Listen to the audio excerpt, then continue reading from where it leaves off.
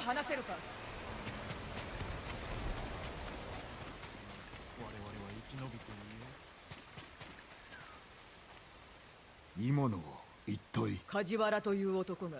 我が館に死角を放ったことが分かった。奴も犯人の一人だ。梶原の家はこの近く。坊主が場所を知っておるが口を割らぬのだ。それでは私が聞いてみましょう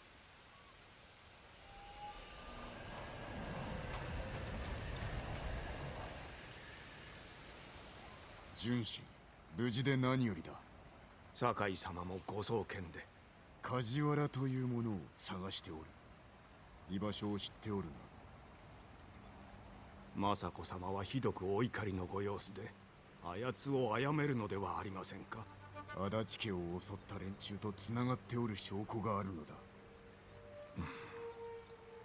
まさかあの梶原が一介の心優しき漁師でございますよ。雅子様は我をお忘れなのでは。純真話をするだけだ。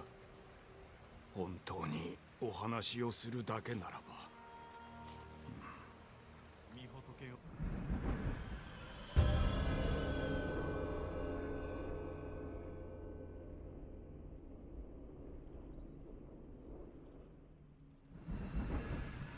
道沿いに海へと進めば浜に梶原の小屋があります。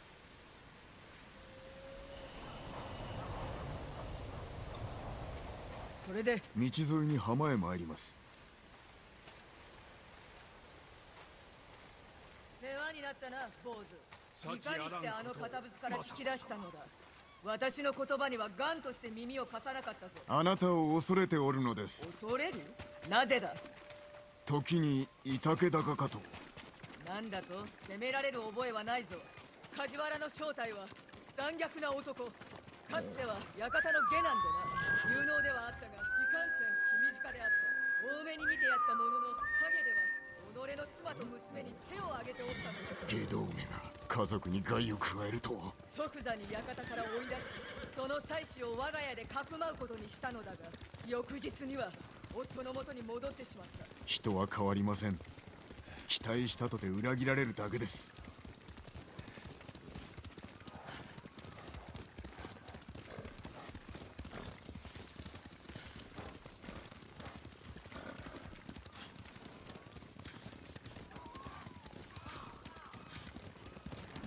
この道を進めば浜に着く。見つかるのは避けたい。馬を降りるぞ。慎重に進みましょう梶原なら家族を盾にしかねません。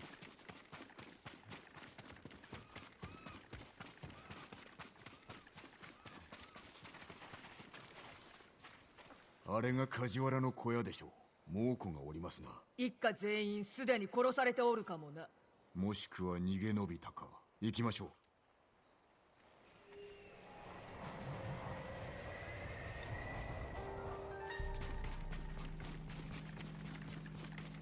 ちらの精鋭を出せ。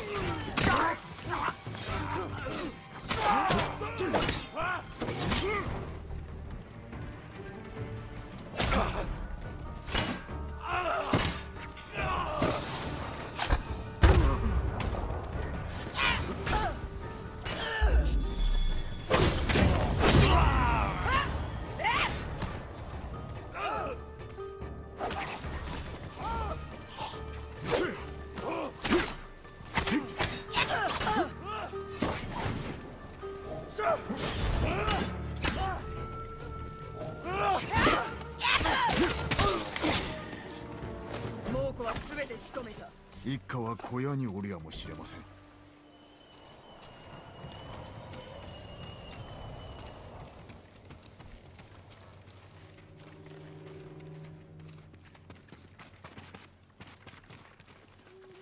真新しい布。布ではない。絹だ。一階の漁師が買える品ではないぞ。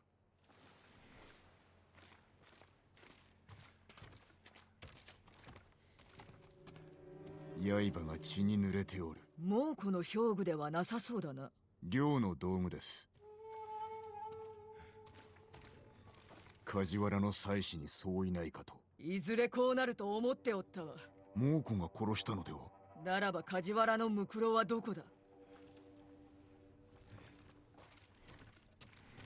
ここに足跡が外へ続いておる梶原のものやもしれません一人で逃げおったか足跡を追いましょ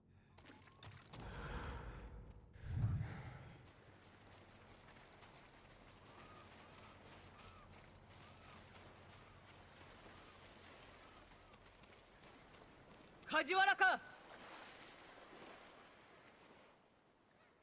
雅子様。猛虎に襲われ妻と娘が。うよくも抜け抜けとお前が殺した。頼まれたのです猛虎に殺されるよりは救いがあると。己。ジェン。一族を殺めるため館に刺客を送ったのはお前だな。主の名を言え。答えれば楽に殺してやってもよいぞ。己が妻子にしたようにな。あのお方は分かってくださったのだ。何を分かってもらえた？あんたのせいで身を滅ぼし家族を食わす銭もなくなり路頭に迷わざるを得なかったことを。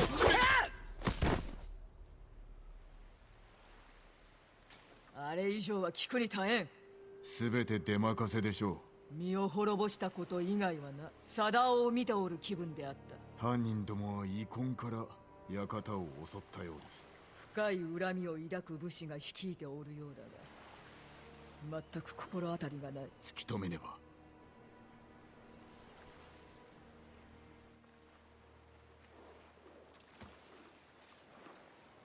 よしいい子だ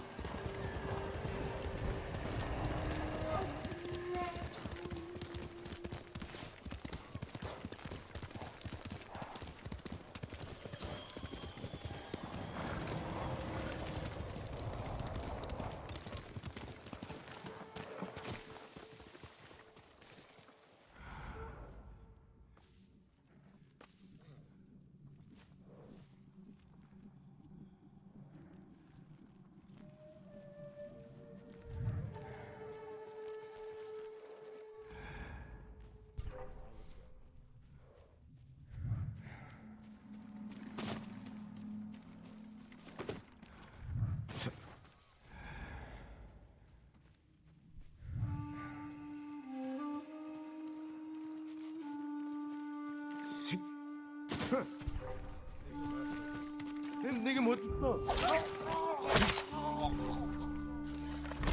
Marcella, we have Kulbed. Kolaritzek, not again. Dosho!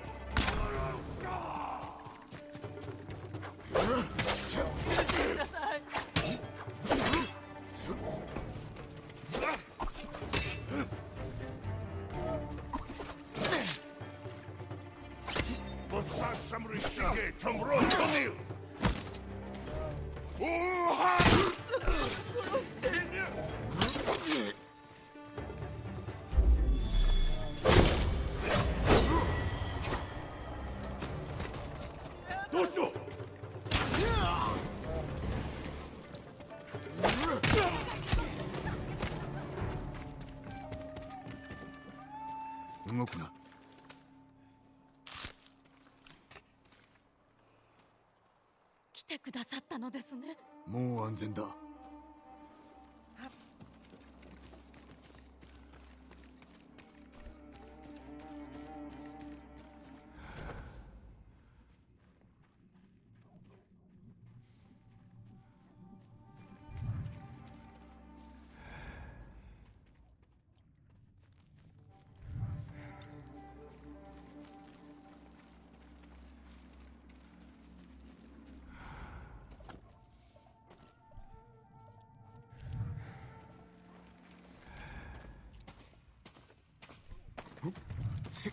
Mongol kung en mutta sanyash parko.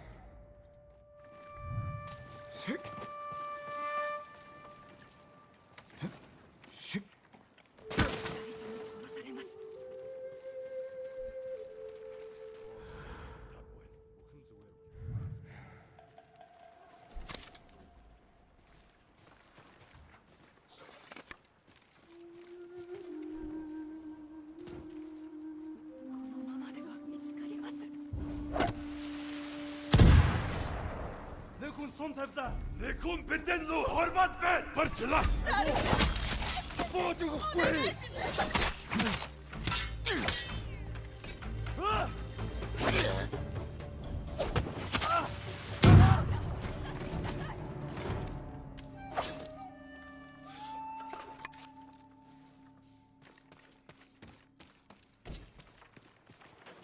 待たせてしまったな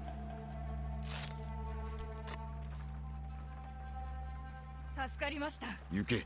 達者でな。志村様なら何とかしてくださる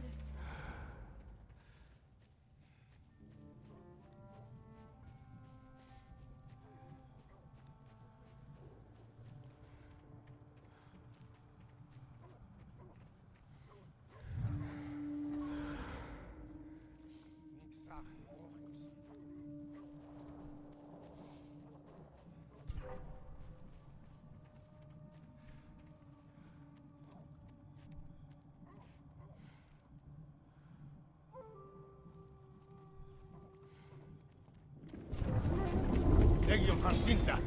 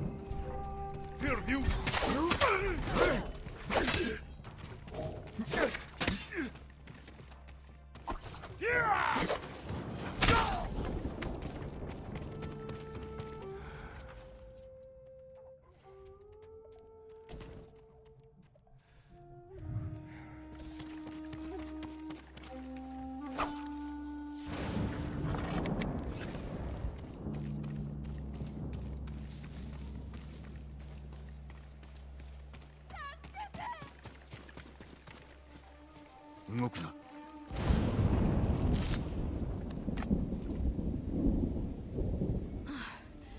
畑を失ってしまうかと思いました。鍵は猛虎に奪われたのか？いえお持ちください。これで猛虎はもう何も奪えません。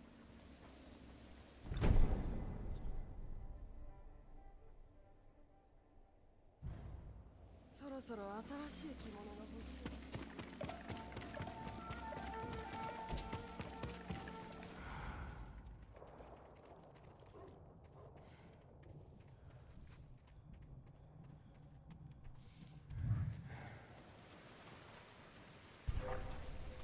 去哈鲁！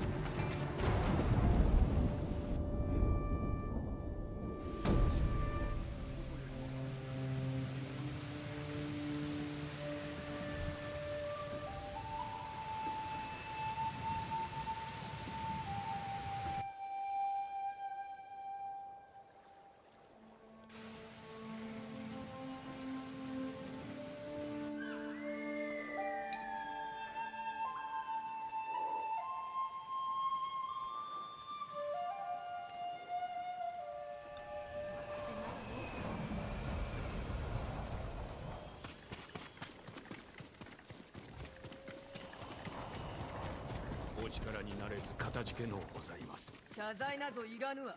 役立たずめ百姓ならばあるいは。そうかもな。酒井様お見苦しいところを。純真今のは何だ？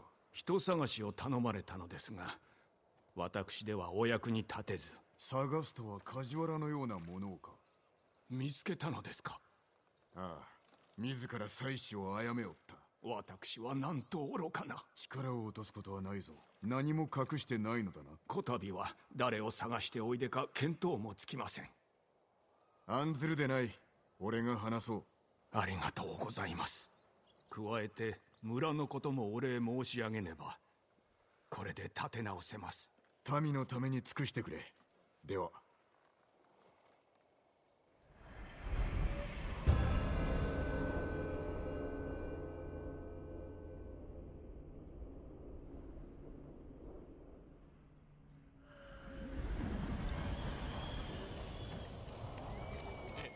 の方へ。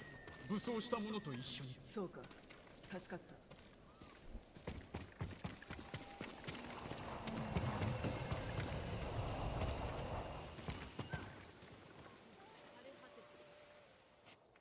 た。尋ね人は見つかりますか？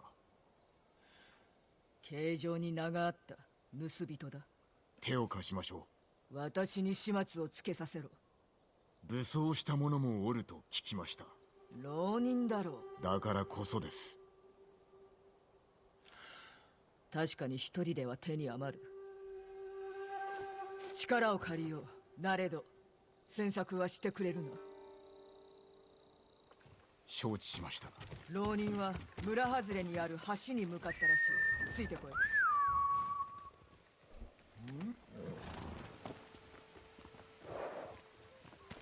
かけろ影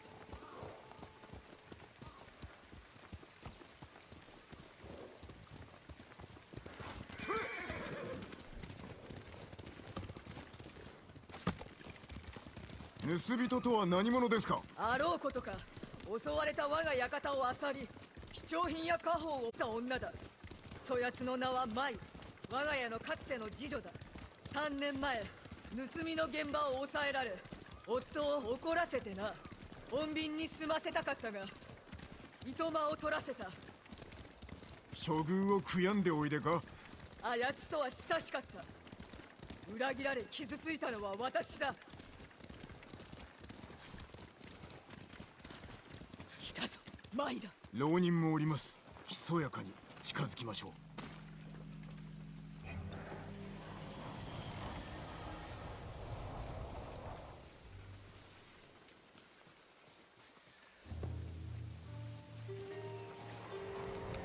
何でも売ってやるから今少し待っておくれ。もう遅い。主が直々に売るそうだ。そんなしろ。金をやる。だから任せて金などないくせに。櫛がある。金と真珠の飾りだよ。私が送ったものだ。なかなかいい値で売れそうだ。よせ主に殺される。ざれ言はいい。宝のありかに行くぞ。舞と話すのであれば浪人は処するべきです。数を減らすほどに家宝を取り戻しやすくなるかと。見つかるでないぞ。舞が傷ついてしまう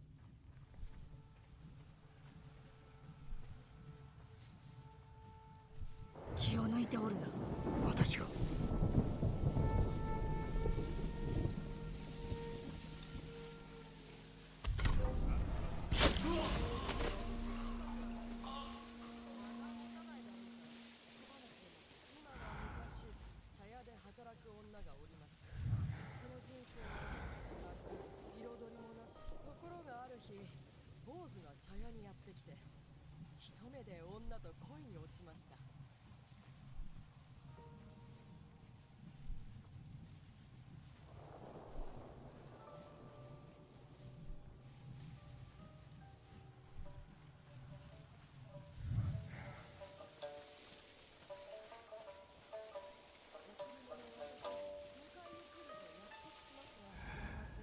厳しい戒律を思い出し女に別れを告げます悲しみに暮れた女はまじない師を訪ねその身を変えてもらいました。もののけに。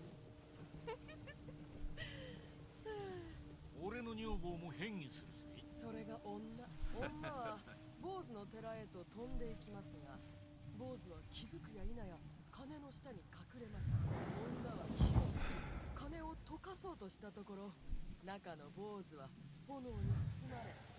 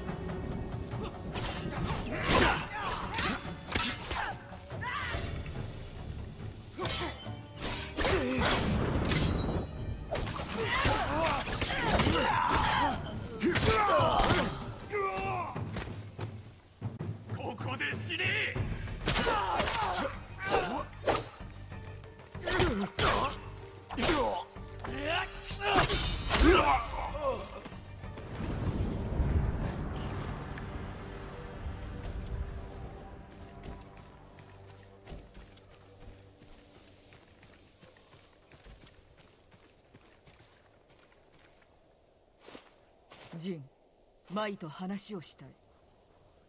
お待ちしましょう。あの人殺しどもに頼まれて我が家宝を盗んだのか。なぜ私を裏切った？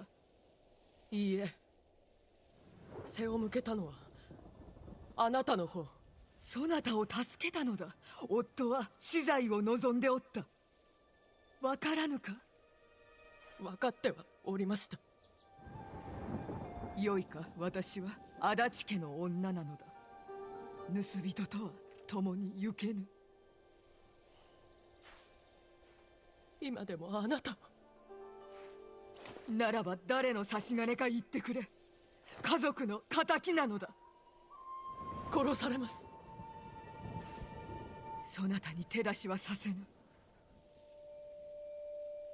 隠し場所へお連れします。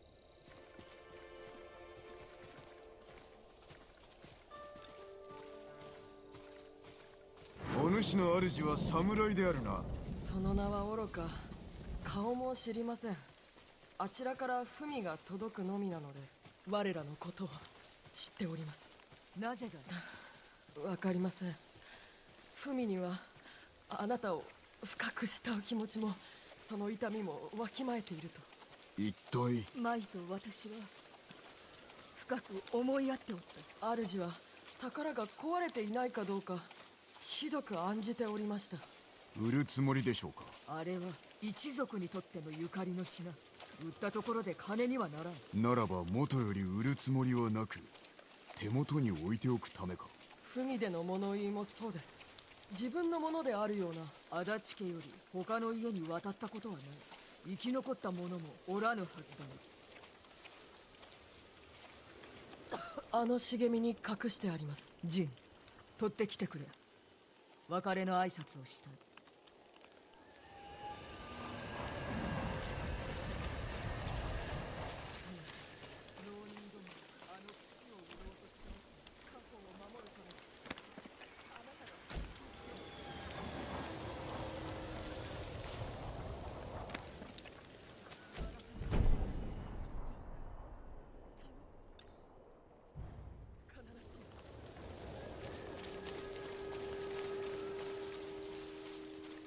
礼を言う舞は？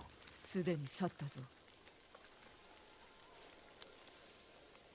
ジン伝えておきたい。